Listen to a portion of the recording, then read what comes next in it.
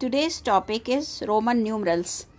Here you will convert the numbers into English alphabet which are combined together to signify their values. These letters were used by the ancient Romans to denote the numerals. In Roman numeral system, seven letters of the English alphabet are used.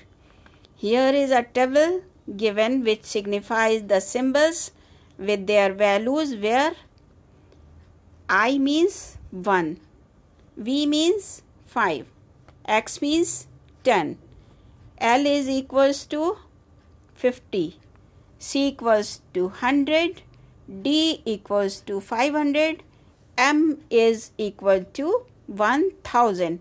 So, I hope you all have understood.